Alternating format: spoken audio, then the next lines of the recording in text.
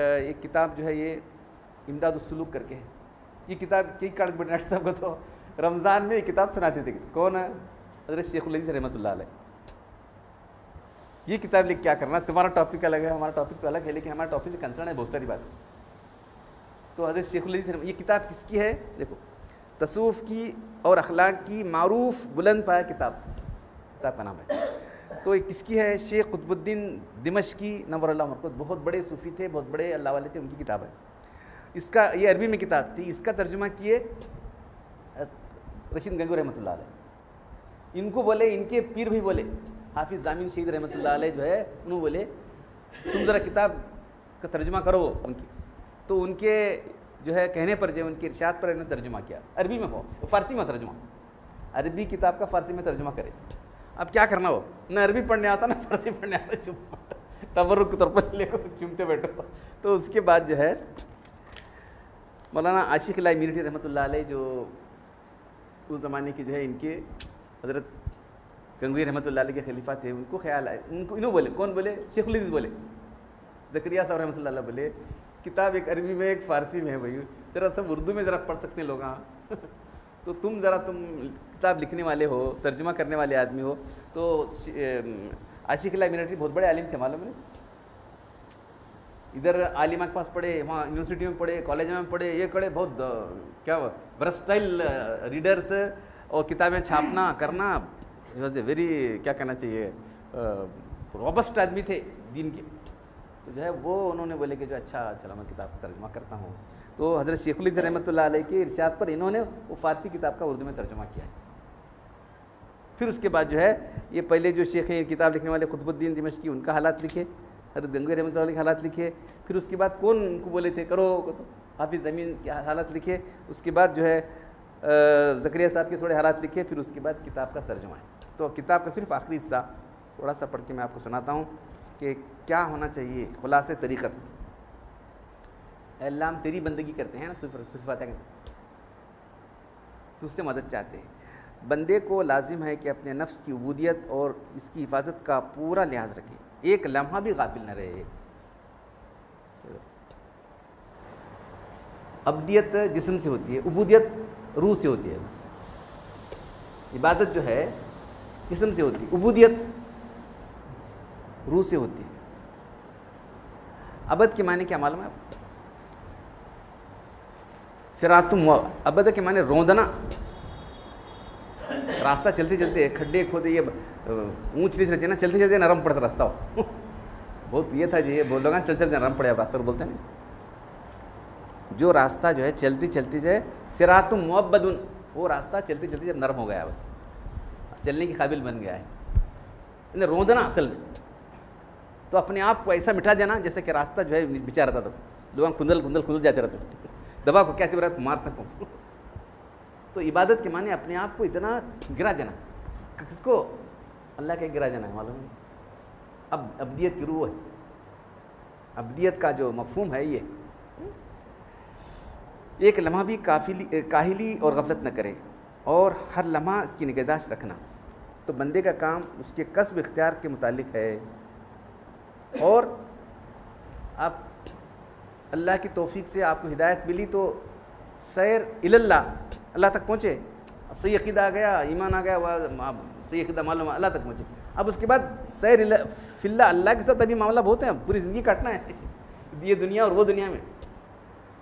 अब दोस्ती नहीं थी, दोस्ती हो गई अब। दोस्ती के बाद ताल्लुक बढ़ने वाले नहीं। क्या क्या होने वाला चाहने वाले, वो करने वाले, उससे क्या करना है, उसको सब आप तो आगे मामला। अब जैसा दूसरी मिसाल देता हूँ। नस्बत है लगा रहे हैं, वो लड़की की नस्बत लगाए, लड़की की नस्बत लगाए, वो करे, ये करे, उसके बाद फिर जो है, एक, वो भूत कॉन्टैक्ट फला, इनो कैसे इनो कैसे रिश्ता हो गया। अब शादी हो गई, अब शादी के बाद असल तो मामला वहाँ से शुरू होने वाला। दुल्हा और दुल्हन मिल गया निकाह हो गया। तो इस तरह से सैर इल्ला वहाँ तक पहुँचे। अब उसके बाद तो असल ज़िंदगी वहाँ से ना, सैर फिल्ला, असल ज़िंदगी वहाँ शुरू होने वाली है। अल्लाह से ताल्लुक़ अब पैदा हुआ है तो अब उसके बाद ही असल मामला तुम्हारे शुरू होने वाले हैं। अभी वो लोग सैर अल्लाह तक नहीं पहुँचे, लोग कहाँ भटक रहे हैं, देखो ना। गैरुल्ला में भटक रहे लोग, उनको तो क्या मालूम ही नहीं सैर की तोफ़ी देना अल्लाह ताला का फजल के हाथ में है। ये तोफ़ी हिदायत, रगबत और मसरत और कैसा आती है तोफ़ी हिदायत, रगबत, मसरत, बशाशत के साथ ज़बरदस्ती करा नहीं, बल्कि पूरे खुशी के साथ, अल्लाह के आगे झुका हुआ है हाँ उसके लिए है, पूरी रगबत के साथ अल्लाह की बंदगी कर रहा है तो उसको जो है इख्तियार करने और मुती और महकूम बन जाने पर महकूम है। पूरी तरह सरेंडर होने पर तुमको ये रास्ता मिलेगा। इसलिए कहते कि बहुत सारे लोगों ने मुजाहिदा और रियाजत की तो अल्लाह ताला ने यहाँ तक कि उनको फरिश्तों से बाला कर दिया उसे फरिश्तों से बाला कैसा कर दिया? अल्लाह के रसूल जो है सिदर मुंता तक पहुँचे। उसके बाद कहा कि जो है, जिल सलाम बोले, मेरे साथ आओ। नहीं, मैं नहीं आ सकता वाला अगर मैं ये पर भी मारूँगा तो मेरा पर जलेगा। ये तुम्हारा मकाम है, तुम जाओ आगे। आगे जाना तुम्हारा मकाम, मेरा मकाम ख़त्म हो गया। तो फरिश्तों से भी आगे मकाम है, मालूम है इंसान का। यहाँ तक कि ताला ने इनको बाला से बाला पहुँचा दिया। मलाइका और अम्बिया के साथ ऐसा मिला दिया। जिसे ख़ास हर वक्त के खादिम है। तो अल्लाह से ताल्लुक़ हर वक्त अल्लाह की याद दिल में है तो बस क्या? अल्लाह के हजूर में हाजिर नहीं क्या? अल्लाह के हजूर हाजिर नहीं क्या? ये उन्होंने खास आदमी थी उनके। उन्होंने ट्वेंटी फोर वहाँ से रहते साहब, उन्हें कोई मिनिस्टर है, कोई उसका उन्हें वहाँ से रहता जी, ट्वेंटी फोर बोलते ना तो अल्लाह से ताल्लुक़ इतना हो जाए कि अल्लाह की याद हमेशा दिल में बस जाए। तो क्या बोलेंगे तुम्हें? ए, अल्लाह के हजूर क्या लो? वहाँ रहते लोग ये है, कैफियत, मालूम है? बहुतों ने काहिली और सुस्ती की वजह से इसको गोंद गुम कर दिया है। देखो भाई, बहुत से लोग आते थे, क्यों नहीं आ रहे मालूम नहीं हूँ मैं कहाँ अकाउंट रखता नहीं? कौन आ रहा है, कौन आ रहा है? मैं आया था बोले, मैं नहीं आया था, मैं क्या करूँ? मैं नहीं आया था, आज आया हूँ। देखो भाई, सुस्ती, काहिली की वजह से तुम गुम कर लेते बहुत से लोग। एक हमारे जो आने वाले थे, जब उनका घर यहाँ नहीं था, लेकिन आते थे। अब घर बना भी नहीं आ रहा था क्या क्या करेंगे बताओ। तोहफी की लाही ये घर के रहने वाले हमारे जो तीनों मुसलमान हैं, कोई भी तोफीक नहीं होती। लोग कहाँ से आ रहे हैं, देखो? वहाँ वहाँ से इतने दूर दूर से लोग आ रहे हैं। तोफीक जो है, तुम्हारी चाहत पर है। तुम्हारी तलब पर अल्लाह तोफीक देता है, याद रखो। बाजू वाला नहीं आ रहा है। बोले कहाँ से कहाँ से आ रहे हैं? तो मुश्किल से आ रहे हैं लोग आ रहे हैं। बहुतरों ने बोहतरों ने इसमें काहिली की कसलमंद बने। यहाँ तक कि इनके कसल ने इनको रोक दरक में छोड़ दिया चले जाते फ़ज़ल खुदाबंदी अहल हिम्मत पर होता है याद रखो। फ़ज़ल खुदाबंदी अल्लाह का फ़ज़ल हिम्मत जो आदमी इरादा करता है। हाँ ये इरादा करता है आना कहते चलो ले। तो जो आदमी हिम्मत नहीं कर रहा उसे क्या करेंगे? ज़बरदस्ती उठा के लगते हैं। ज़बरदस्ती उठा लाने का नहीं यहाँ मालूम? तो बहुत से लोग समझे ज़बरदस्ती मज़े मिलता तुझे क्या नहीं मिलेगा? जो अभी डिस्कार्डेड गो जो लोग भाग कर जाते हैं इसी, उनको क्या भी नहीं मिलने वाला है तो रियाजत और मुजाहिदा का समरा का, फजल खुदाबंदी अहल हिम्मत पर होता है। अलगरज नफ्स को पाक करना तस्किया करना, बंदा बनना, हुक्म का फरदार बनना, और इस गुलामी और ख़िदमत को खुशी खुशी कबूल करना अल्लाह की बंदगी मिल गई। तो क्या अल्लाह का बंदा हूँ? किसका बंदा हूँ? रब कायनात का बंदा हूँ जी। क्या मामूली बात है? ए मैं उसका पी एच डी कर फ़ख्र करते रहता ना मैं। उनका ये अरे, ये अल्लाह का बंदा हूँ मैं। जो रब्बुल आलमीन है। इस पर फ़ख्र करना है आदमी को, मालूम है ना? किसका इनका, उनका नहीं। सारी कायनात जिसके हाथ में है, जिसके एक लफ्ज़ से, जिसके दो लफ्ज़, कुन, काफ और नून के अंदर पूरी दुनिया है अल्लाह ताला करने के लिए, अब कितने में अब जो लोग वहाँ अंदर रहते वो बाद में क्या थी, भी काम कराना रहा तो उसे जाना, वो सेक्रेटरी के पास जाना, वहाँ जाना, वो क्लर्क लिखना, उन्हें साइन करना, उसे सील मारना, वो कर को ऑर्डर एक ऑर्डर आने थे कितना लंबा प्रोसीजर है, देख। अल्लाह के पास क्या भी नहीं, सिर्फ़ दो लफ्ज़, काफ और नून, कुन का तो हो जाता उसके बंदे हैं हम लोग, क्या समझे तुम लोग? इसलिए जो हमारे अली अल्लाह, किसी को खातिर नहीं लाए, बादशाह, कौन, अमीर, फ़क, क्या, कौन आए जब ताल्लुक़ अल्लाह से हो गया, इसी ज़ात से हो गया हमारा। बल्कि चाहिए कि अपनी, उसकी गुलामी पर फ़ख्र करे हाँ?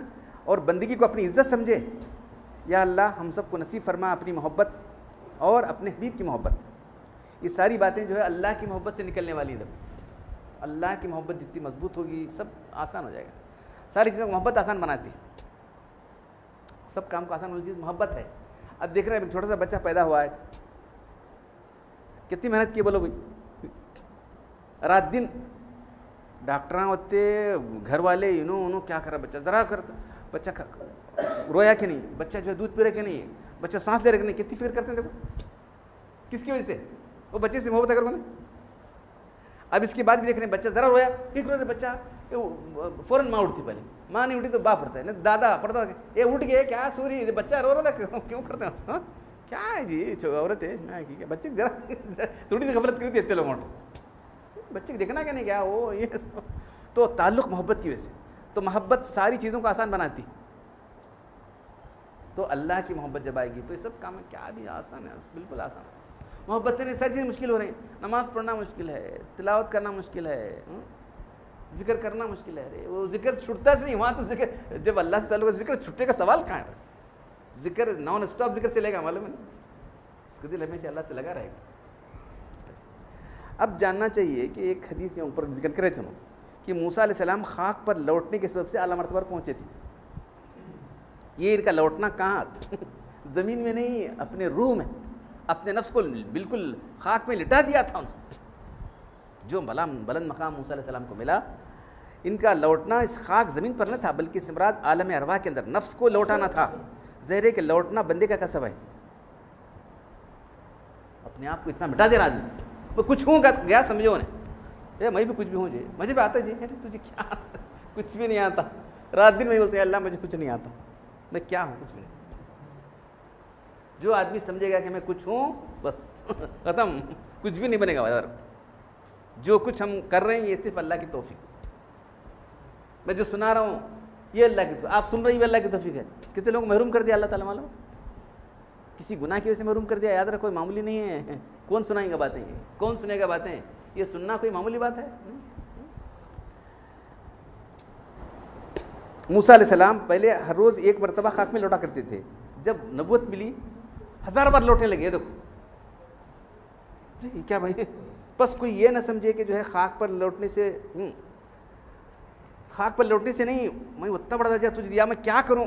कैसा मैं और झुक जाऊँ तेरे आगे? कैसे शुक्र अदा करूँ तेरा मैं? इंसान की ज़ाती सिफत जिसको अगर आला तर हो जाएगी, वो उसकी ज़्यादा वो और इधर अल्लाह की और ज़्यादा बंदी इख्तार करेगा उन्हें। कहाँ तो लोग होंगे जो हम ऐसे मकाम पर पहुँचेंगे, बंदी बंदगी से हम जो आज़ाद हो गए, समझ सबसे बड़ा मकाम तो बंदगी है। क्या खुदा बनना है? इंसान खुदा बनना है थोड़ी, बंदा बनना है। तो जितना बंदगी में आला दर्जा हासिल करेगा, उतना बड़ा होने का, अल्लाह के पास मकाम। शेख अबू सईद अबुल खैर फरमाते हैं तो अब इसके लिए इल्म की ज़रूरत है इल्म जो है, बग़ैर इल्म के आदमी क्या करेगा भाई? तो इल्म हासिल करना है। किससे? सही लोगों से इल्म हासिल करो। उलमा हैं, उलमा रब्बानी, उलमा सो। इल्म सही मिलेगा तो उनके पास से आपको सही मिलेगा। बाकी पास क्या नहीं मिलेगा। मुझे मुझे को बोलने वाला ऐसा होने वाला अपने मफाद के लिए दिन को तो करेगा। आप सुनकर ताजुब करेंगे, मैं बयान किया हूँ बहुत मरतबा।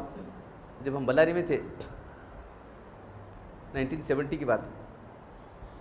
तो वहाँ की जो है, कंटोनमेंट की बड़ी मस्जिद थी, वहाँ गए, रमज़ान के शायद पहला ये था, आशरा गए थे। अभी नहीं, शुरू होने वाला था उस दिन, सब ऐसे बैठे करे। तो एक हाफिज़ साहब क्या बोल रहे हूँ? अल्लाह ताला कुरान में फरमाना है कि, ला तशरू ब्याती समन कलीला अल्लाह ताला करें कि, मेरी याद को थोड़ी कीमत मतलब मत बेचो। तो इसलिए मैं थोड़ी कीमत मतलब नहीं बेचता, कम से कम एक हज़ार होना चाहिए ये देखो।